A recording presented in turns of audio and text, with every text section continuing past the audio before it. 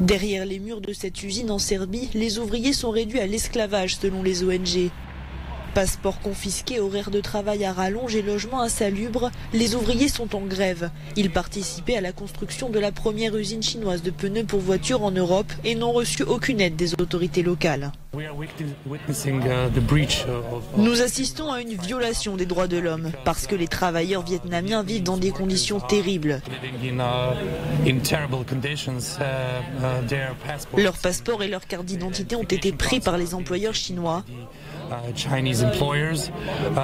Ils sont ici depuis le mois de mai et n'ont reçu qu'un seul salaire.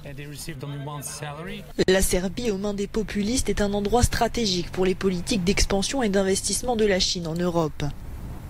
Les entreprises gardent un contrôle strict sur leurs projets, malgré les informations selon lesquelles elles enfreignent les lois anti-pollution et la réglementation du travail. Interrogé sur le sort des ouvriers en marge d'un déplacement, le président serbe répond à demi-mot. Nous allons essayer d'aider les Vietnamiens et tout le monde, mais nous ne disperserons pas les investisseurs. C'est un travail acharné de les amener dans notre pays. De son côté, l'entreprise affirme être en lien avec les autorités, mais nie toute implication dans le sort de ses travailleurs. Elle attribue leur situation aux sous-traitants vietnamiens.